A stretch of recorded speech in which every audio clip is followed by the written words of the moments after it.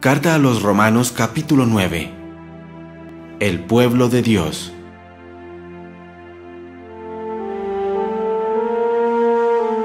Yo creo en Jesucristo y por eso digo la verdad.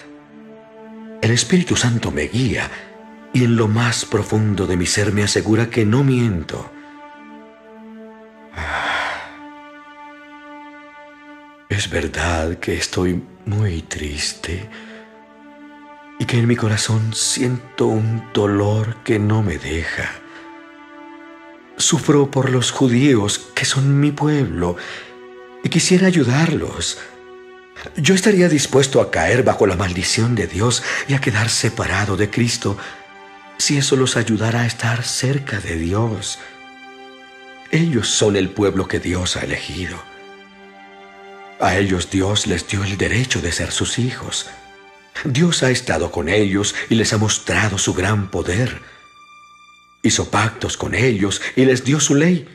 Les enseñó a adorarlo de verdad y también les hizo promesas. Ellos pertenecen al pueblo de Dios. Y el Mesías, como hombre, pertenece a ese mismo pueblo. Él gobierna sobre todas las cosas y es Dios. Alabado sea Dios por siempre. Amén. No estoy diciendo que Dios no haya cumplido sus promesas con el pueblo de Israel, pero no todos los judíos son realmente parte del pueblo de Israel, ni todos los descendientes de Abraham son verdaderos hijos de Abraham. Pues Dios le había dicho, Tu descendencia vendrá por medio de Isaac. Esto significa que nadie es hijo de Dios solo por pertenecer a cierta familia o raza. Al contrario, la verdadera familia de Abraham la forman todos los descendientes de Isaac, porque Isaac fue quien nació para cumplir la promesa que Dios le hizo a Abraham. Dentro de un año volveré, y para entonces Sara ya tendrá un hijo. Pero eso no es todo. Aun cuando los dos hijos de Rebeca eran de nuestro antepasado Isaac, Dios eligió solo a uno de ellos para formar su pueblo.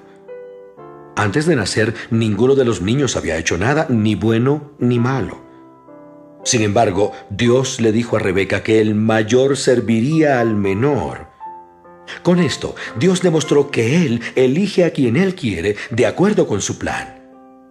Así que la elección de Dios no depende de lo que hagamos como dice la Biblia. Prefería a Jacob y no a Esaú. ¿Y por eso vamos a decir que Dios es injusto? Claro que no, porque Dios le dijo a Moisés, Yo tendré compasión de quien yo quiera tenerla. Así que la elección de Dios no depende de que alguien quiera ser elegido o se esfuerce por serlo. Más bien, depende de que Dios le tenga compasión. En la Biblia leemos que Dios le dijo al rey de Egipto, Te hice rey precisamente para mostrar mi poder por medio de todo lo que haré contigo y para que todo el mundo me conozca. Así que todo depende de lo que Dios decida hacer. Él se compadece de quien quiere y a quien quiere lo vuelve terco. El enojo y la compasión de Dios. Si alguien me dijera, ¿de qué nos va a culpar Dios si nadie puede oponerse a sus deseos? Yo le contestaría, amigo mío, tú no eres nadie para cuestionar las decisiones de Dios. La olla de barro no puede quejarse con el que la hizo de haberle dado esa forma. El alfarero puede hacer con el barro lo que quiera. Con el mismo barro puede hacer una vasija para usarla en ocasiones especiales y también una vasija de uso diario. Algo parecido ha hecho Dios. Ha querido dar un ejemplo de castigo para que todo el mundo conozca su poder. Por eso tuvo mucha paciencia con los que merecían ser castigados y destruidos. Al mismo tiempo, demostró su gran amor y poder para salvarnos. Desde un principio nos tuvo compasión y nos eligió para vivir con Él. Y no le importó que fuéramos judíos o no lo fuéramos. Como dice Dios en el libro del profeta Oseas, A un pueblo que no me pertenece, lo llamaré mi pueblo. A un pueblo que no amo, le mostraré mi amor. Y allí donde les dije, ustedes no son mi pueblo, se les llamará hijos del Dios vivo. Además el profeta Isaías dijo acerca de los israelitas, aunque los israelitas sean tantos como los granos de arena en la playa, solo unos cuantos serán salvados.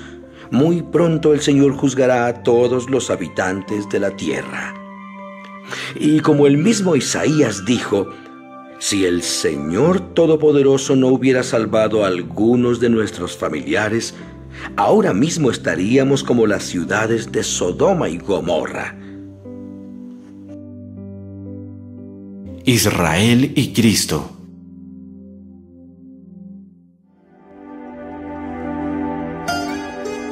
¿Qué más les puedo decir?